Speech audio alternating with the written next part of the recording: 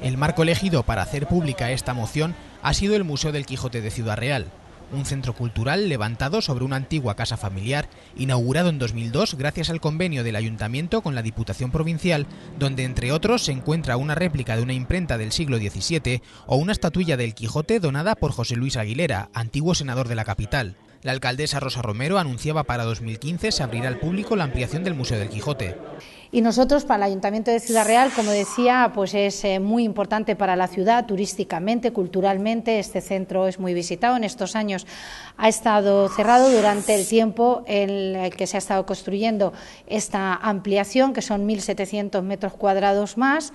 y que ha supuesto una inversión de 2 millones de euros eh, pagados al 50% por la Junta de Comunidades de Castilla-La Mancha y por el Ayuntamiento de Ciudad Real. El coordinador del Grupo Territorial de Senadores de Castilla-La Mancha, Tomás Burgos, aprovechaba para hacer una valoración de la convención del Partido Popular, celebrado este fin de semana en Toledo, donde se habló de presente y del futuro del partido y de lo importante que es Europa para Castilla-La Mancha en puertas de unas nuevas elecciones europeas. Y es que el 70% de la legislación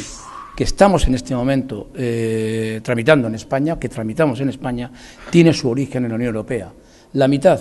de los fondos de las grandes infraestructuras se financian gracias a la Unión Europea. Toda la política agraria, y estamos hablando,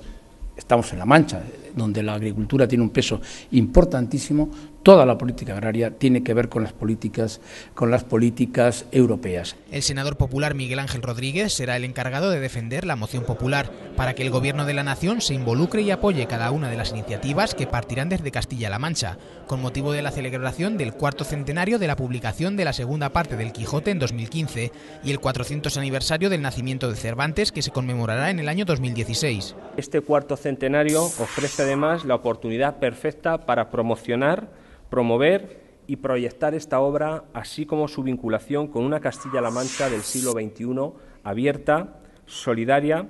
y comprometida con el bienestar y la generación de riqueza en la región.